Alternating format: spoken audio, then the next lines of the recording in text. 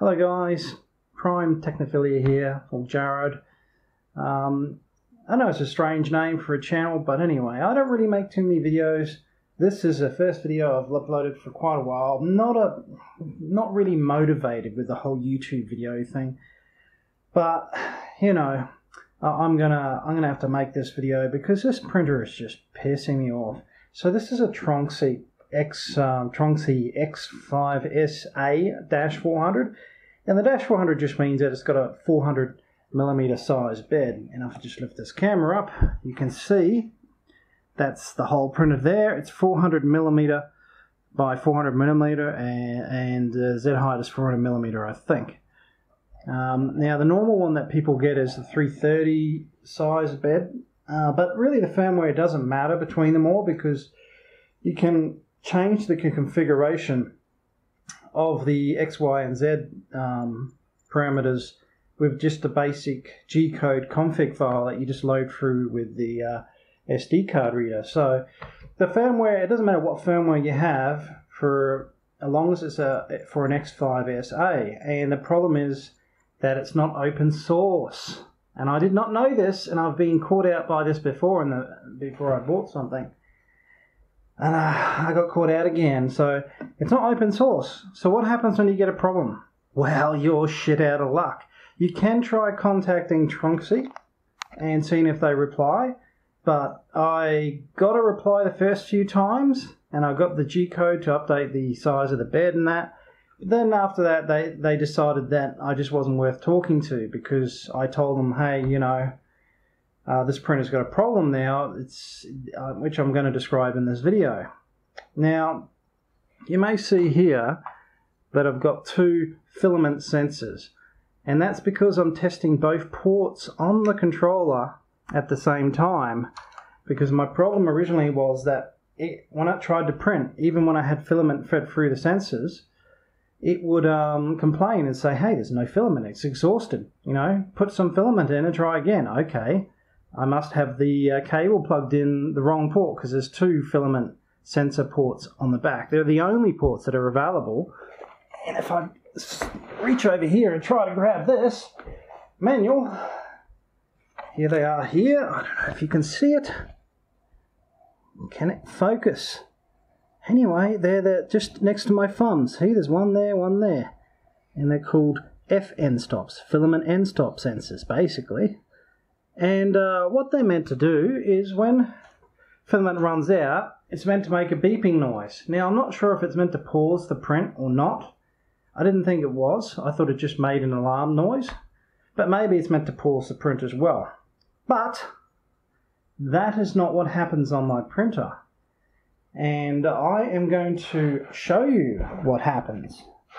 And just for the, um, just pointing it out, these are actually my own sensors but they're the same thing as the one that was provided. And I've checked the wiring, the wiring is straight through, there's nothing wrong. It's going into the two ports at the back.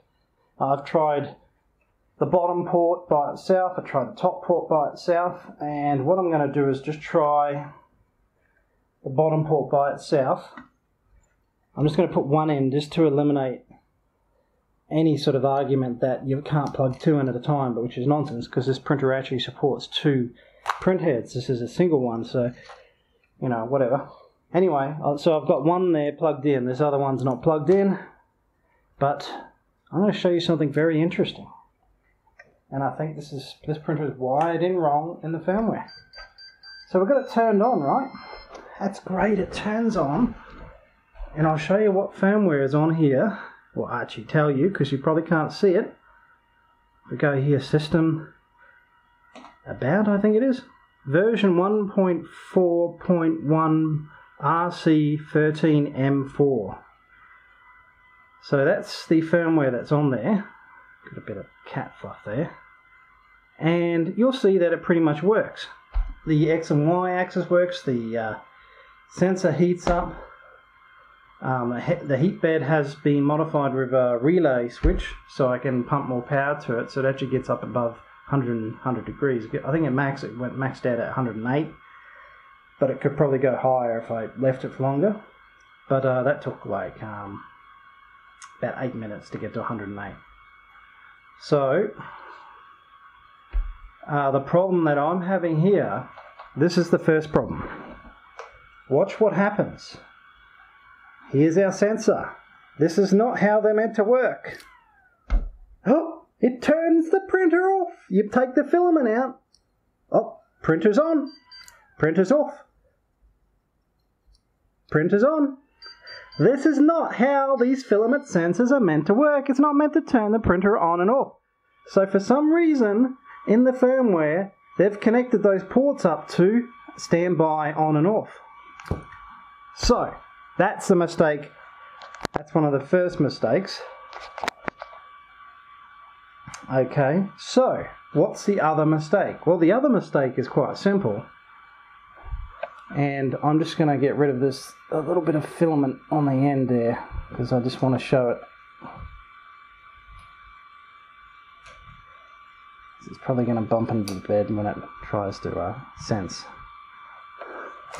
I need to stand up. There's a bit of a mess here because I'm actually, that's just the way I am when I'm sorting out a new printer or something. I'm, I've got all my tools out and I put them away once I'm confident that it works.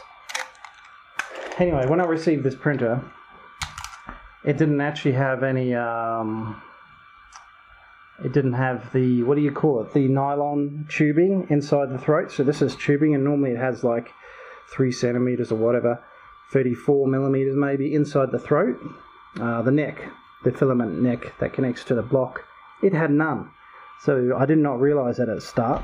So I had to pull that apart and fix that up. So it's in there now and that's fine. Okay, so we've got problem number one.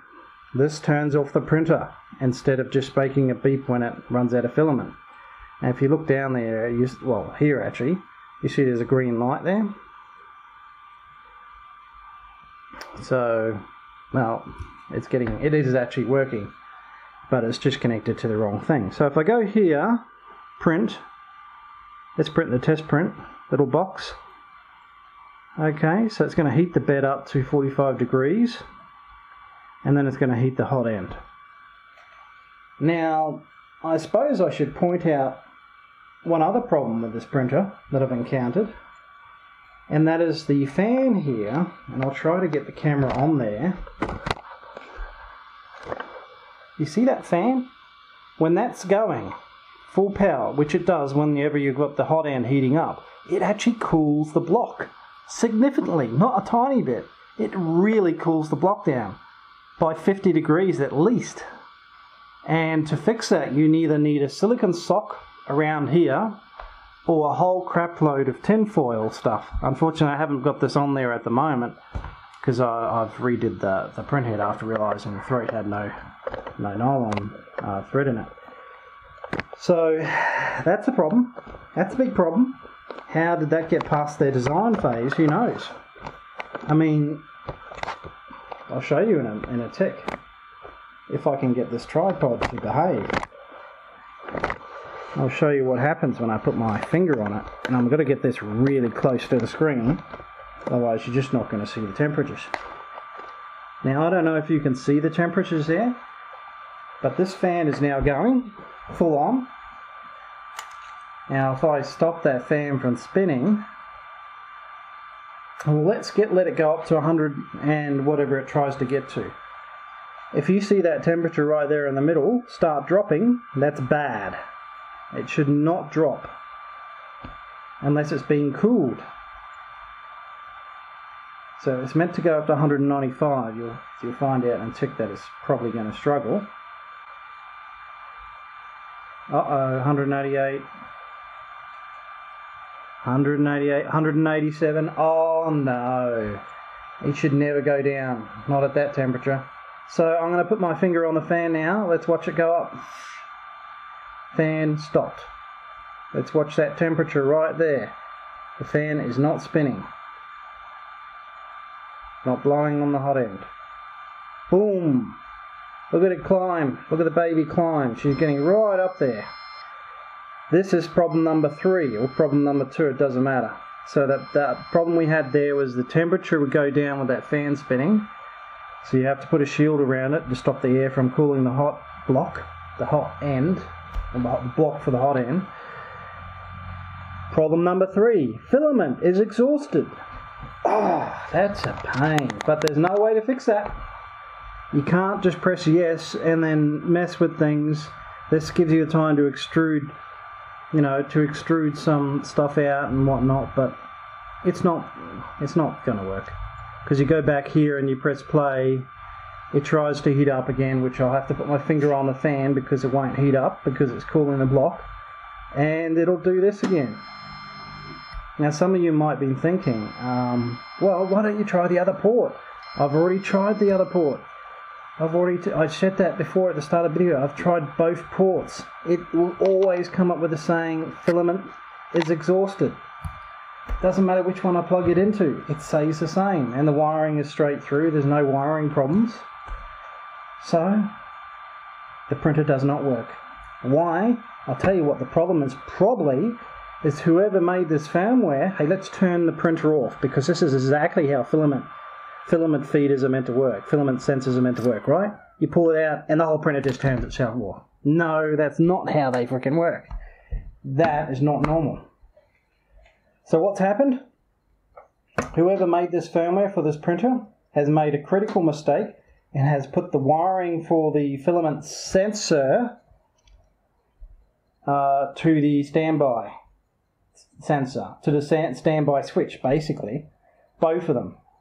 And, and uh, the filament, the actual filament sensor ports or, or points on the chip that it's meant to go to, it's not connecting to the right place because it's all done by firmware. If you if you tell the firmware the chip to connect to to use these pins for for uh, the port, but you give it the wrong pin numbers, it will not work. It'll do exactly what it's doing, which is keep telling me that the filament is exhausted because there is no pins on here to connect it to because they're the wrong ones.